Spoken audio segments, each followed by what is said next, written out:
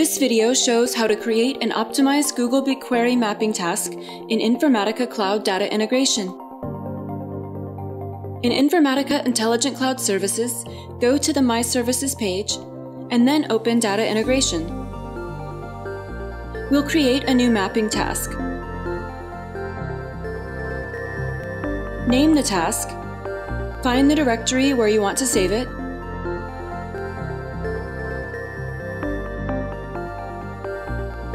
and then select a runtime environment. Now select the mapping that we just configured and click Next.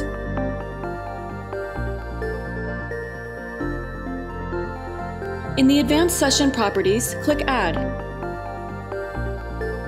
Select Pushdown Optimization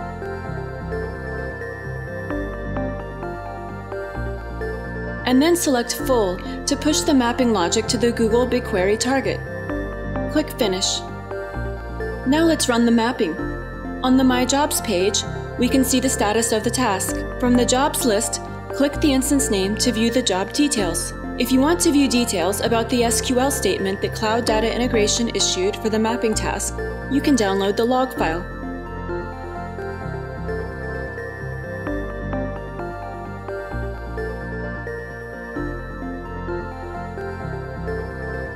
Or you can view the SQL statement in the Google BigQuery console. Log in to the Google BigQuery console. On the Job History Project History tab, find the SQL insert statement issued for the Google BigQuery mapping task.